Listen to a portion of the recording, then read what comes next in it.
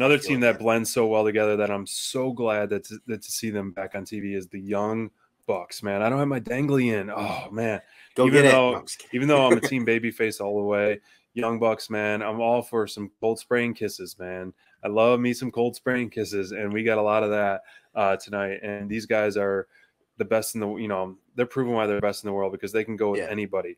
You know, on paper, you're like, okay, these guys just feuded with Jurassic Express and you know Chuck Taylor and Rocky Romero. You know, they can go in the ring, but it's like, okay, you know, where's this match going? The big picture of what we saw today with Sue and the returning of Trent was just had me all. I was eating this out of it, eating this out of the, the bowl, just asking for seconds because Trent looked like a million bucks. But man, this this match, man, the Young Bucks were just toying with him all day, all match, man. They were just, you know, I love their showboating, their constant showboating.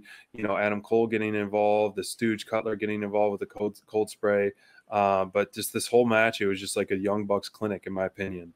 Yeah, this was a, a typical young bucks are are Yeah. just toying with their opponent, uh, being jerk heels match. I loved it, and and I think Adam Cole adds a whole nother dynamic uh, to these guys, which is really fun. I think that he uh, they have a lot of fun when he's out there. They they're Yeah. uh, they have they do different stuff. I like that they're able to kind of morph and do some different things. They I want to see more trios matches with these guys because Yeah. I think that they would have even more fun in the ring doing trio stuff.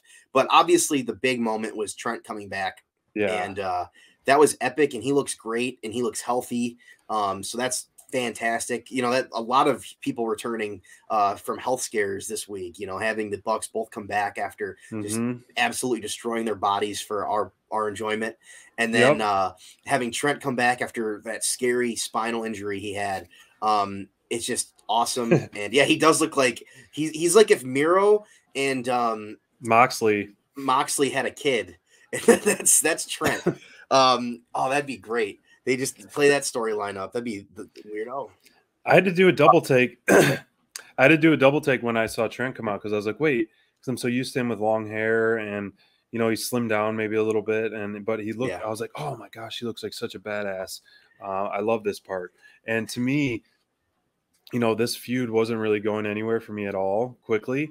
Um, but now that, yeah, Miro and Blade had a kid, but now that Trent's return, and this is this is the, this is the kind of the same thing that happened before with the the last feud with with the best friends and Miro Yeah. and Kip Sabian. As soon as Trent returned, it made it that much more relevant for me. You know, because it was getting so stale. Like this this to me was like a feud out of nowhere. Um, and then now that Trent's back, I'm excited to see the original best friends versus the you know the SuperKliq party trios and, and kind of Yep. trading stuff like that. So we know Trent is a workhorse. Um, so I'm, I'm all for this feud right now. I, I think it's going to work yeah, for me the time too. uh, me too, man. I, I think that Trent Trent coming back is massive. Not not to take anything away from you know Wheeler Yuta or anything. but Sure.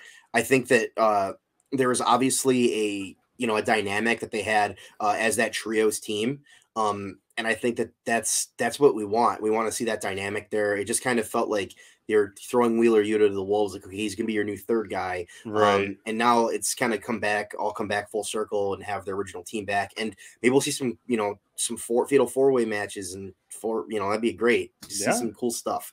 Um, I like that now they have some options for their squad as well. You know, if you know, growing. hopefully nobody gets hurt again, because you know, obviously Trent comes back from an injury, then immediately gets hurt again. So yeah. uh, hopefully no that. no injuries happen um but at least now you know there are more numbers there's not going to have to be that weird insertion into storylines anymore um it's a bigger squad and we'll see man i'm i'm uh, i'm stoked about it i can't wait to see trent back in the ring uh, in a real match it's gonna be great I love that AEW gives gives the people what they want in their hometown. You know, Yep. We saw the surprise debut with Trent. Obviously, they're given you know the MJF rub, uh, the acclaim, John Silver main event meat man.